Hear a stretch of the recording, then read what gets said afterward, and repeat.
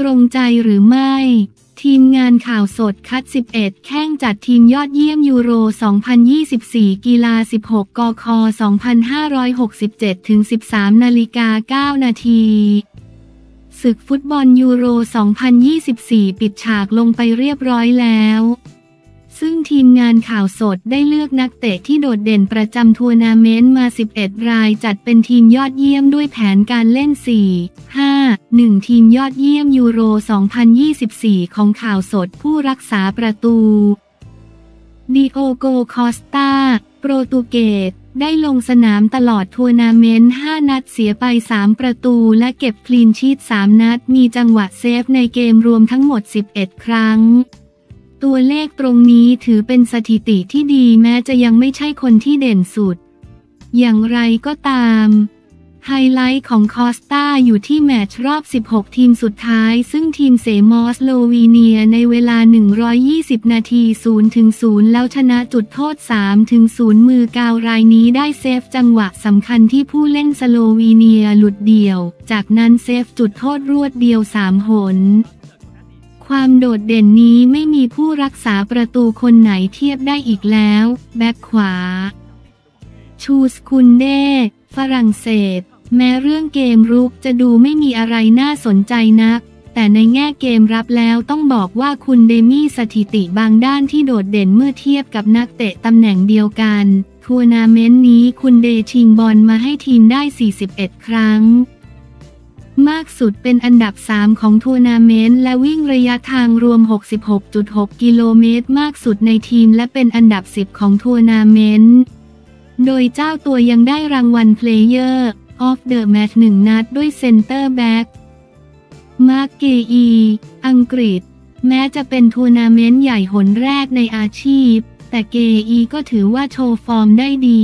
จนช่วยให้อังกฤษผ่านเข้าถึงรอบชิงชนะเลิศ เกฮีมีสถิติชิงบอลให้ทีมได้มากถึง 44 ครั้ง สูงสุดเป็นอันดับสองของทัวร์นาเมนต์นอกนั้นยังมีการเข้าปะทะ 6 ครั้ง เคลียร์บอลสำเร็จ 7 ครั้ง บล็อกลูกยิง 7 ครั้ง ขณะที่เกมรุกเองก็ยังมีบทบาทกับการจ่ายบอล 443 ครั้ง เข้าเป้า 92.67%และแอสซิสต์ให้เพื่อนยิงได้ 1 ประตูด้วย เซนเตอร์แบ็กยาคาบิโยล สโลวีเนีย แม้สโลวีเนียจะจบเส้นทางเพียงรอบ 16 ทีมสุดท้าย แต่ทีมก็ไม่แพ้คู่แข่งรายไหนทั้งในเวลา 90 นาทีและ 120 นาที ซึ่งเกมรับนั้นเป็นปัจจัยสำคัญกับผลงานไร้พ่ายและบิโยลเป็นแกนหลักของแดนหลังที่ทีมขาดไม่ได้เลย ทัวร์นาเมนต์นี้บิโยลมีสถิติเกมรับโดดเด่น โดยเคลียร์บอลสำเร็จถึง 36 ครั้งเป็นจำนวนสูงสุดของทัวร์นาเมนต์ นอกนั้นยังมีเข้าปะทะ 12 ครั้ง ชิงบอลให้ทีมได้ 25 ครั้ง บล็อกลูกยิง 6 ครั้ง ช่วยให้สโลวีเนียกลายเป็นทีมที่ถูกเจาะตาข่ายได้ยากมาก ๆ แบ็กซ้าย มาร์ก กูกูเรยา สเปน ก่อนทัวร์นาเมนต์จะเริ่มต้นขึ้น กูกูเรยาโดนวิจารณ์อย่างหนัก ถึงฟอร์มการเล่นกับสโมสรที่ย่ำแย่ จนถูกมองว่าไม่น่าติดทีมชาติด้วยซ้ำ แต่แข้งรายนี้ก็ลบคำสบประมาทอย่างหมดจดกูกูเรยาเป็นแบ็กซ้ายที่ไม่บกพร่องในเกมรับ ชิงบอลให้ทีมได้ 34 ครั้ง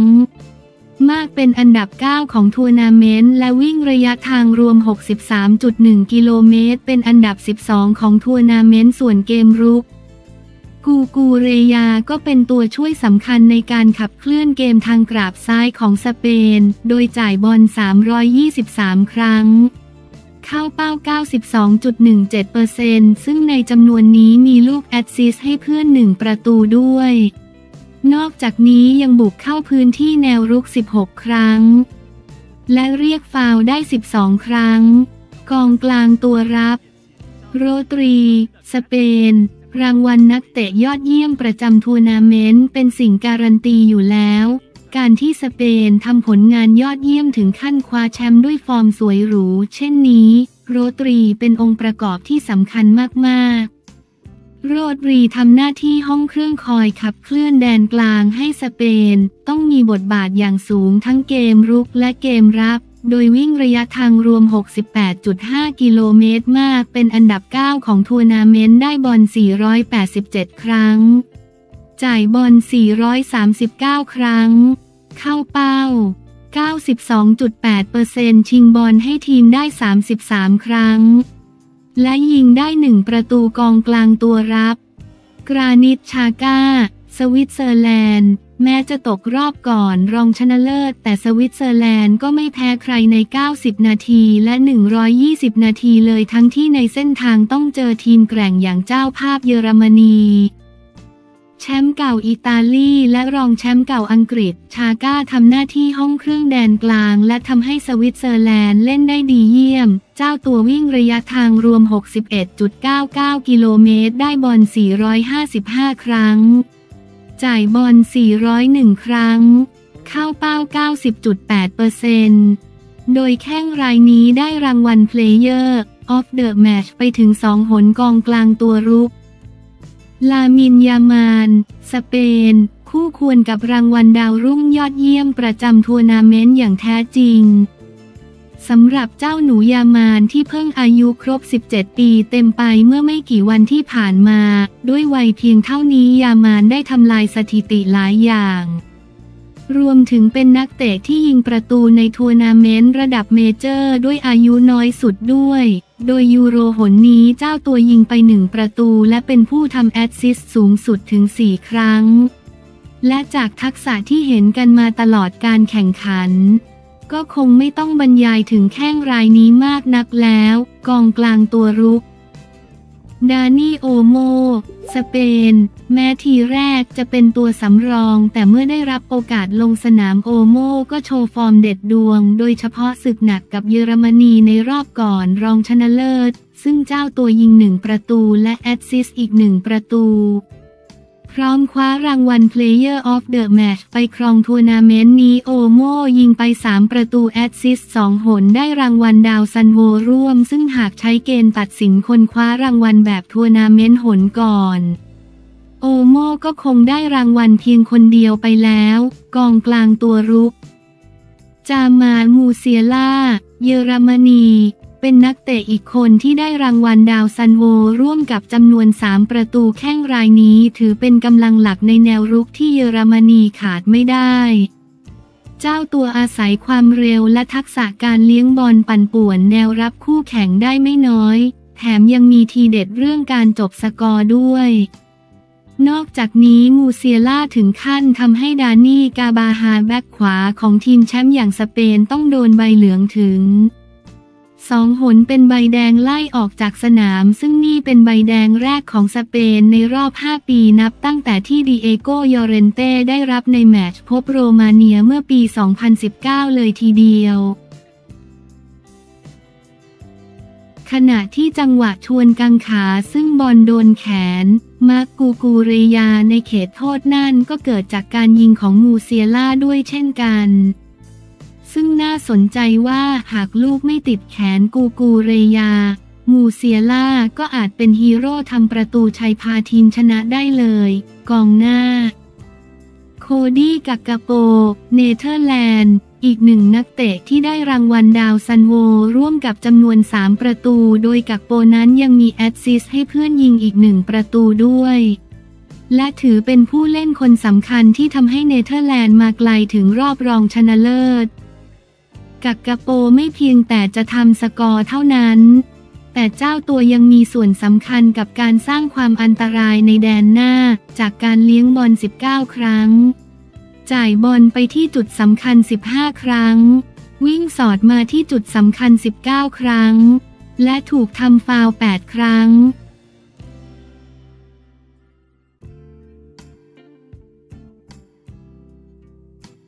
ฟุตโนตกระแสการเรียน รักษาดินแดน มาตรการการบังคับเกณฑ์ทหารประเด็นร้อนวันที่ 16 กรกฎาคม 2567 11นาฬิกา9นาทีในความยินดีของรัฐมนตรีว่าการกระทรวงกลาโหมที่มีนักเรียน นักศึกษาแสดงความจำนงจะเข้าอบรมหลักสูตร รักษาดินแดนที่ขอนแก่นถึง 5,000 กว่าทั้งทั้งที่ต้องการเพียง 2,000 นายด้านหนึ่ง สะท้อนความตื่นตัวของนักเรียนนักศึกษา แต่ด้านหนึ่งก็แฝงไว้ด้วยความกังวลและความวิตก เชื่อว่าคนระดับรัฐมนตรีว่าการกระทรวงกลาโหมที่คร่ำวอด อยู่ในวงการศึกษาตั้งแต่ระดับประถมกระทั่งระดับอุดมศึกษาย่อมเข้าใจได้อย่างดีว่าความกังวลวิตกมีมูลเชื้อมาอย่างไร ไม่เพียงแต่จะเกิดขึ้นดำรงอยู่ในพื้นที่ของจังหวัดขอนแก่น ไม่เพียงแต่จะเกิดขึ้นดำรงอยู่ในพื้นที่ของจังหวัดมหาสารคาม หากแต่น่าจะทุกจังหวัดในขอบเขตทั่วประเทศ เป็นความวิตกกังวลเมื่อมาตรการ บังคับเกณฑ์ทหารยังเป็นแนวทางหลักของกระทรวงกลาโหม เชื่อได้เลยว่าความต้องการจะเข้าสู่หลักสูตรการอบรม รักษาดินแดนจะทวีขึ้นเป็นอย่างสูง เนื่องจากนักเรียนนักศึกษาตระหนักรู้เป็นอย่างดีว่า การเข้าสู่หลักสูตรการอบรม รักษาดินแดน เท่านั้นที่สร้างความชอบธรรมให้ไม่ต้องเข้าสู่กระบวนการ บังคับเกณฑ์ทหารคำถามอยู่ที่พักเพื่อไทยจะดำเนินการกับปัญหานี้อย่างไร ยอมรับได้เลยว่าสถานการณ์อันเกี่ยวกับมาตรการ บังคับเกณฑ์ทหาร จะไม่กลายเป็นประเด็นและอยู่ในข้อถกเถียงในทางความคิดและในทางการเมืองได้เลย หากพักเพื่อไทยยืนหยัดในหลักและแนวทางที่เคยประกาศในห่วงแห่งการหาเสียงก่อนการเลือกตั้งเดือนพฤษภาคม 2566 นั่นก็คือนำเสนออย่างใกล้เคียงกับแนวทางพักก้าวไกลเพียงแต่เมื่อพักเพื่อไทยสะบ้านออกจากความสัมพันธ์ความต้องการที่จะจัดตั้งรัฐบาลร่วมกับพักก้าวไกล และจับมือกับพักภูมิใจไทย พักรวมไทยสร้างชาติพักพลังประชารัฐ ภายใต้การเกิดขึ้นของรัฐบาลพิเศษ อันก่อรูปขึ้นเมื่อวันที่ 22 สิงหาคม 2566 นั้นเองที่ทำให้หลักการเดิมของพรรคเพื่อไทยต้องประนอมประโยชน์กับพรรคร่วมรัฐบาลอื่น ปมเงื่อนอยู่ที่ว่าพักเพื่อไทยจะรับรู้และทำความเข้าใจต่อกระแสและความต้องการของนักเรียน นักศึกษาอย่างไรหากประเมินจากความต้องการเข้าสู่หลักสูตรอบรม รักษาดินแดน หากประเมินจากความรับรู้ของพักเพื่อไทย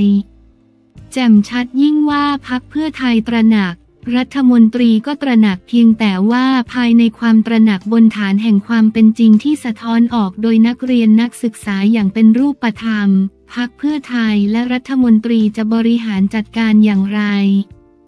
นั่นก็คือการจัดสมดุลแห่งกระแสในทางสังคมกับมาตรการที่แข็งตัวของกองทัพและของกระทรวงกลาโหมให้ออกมาอย่างไร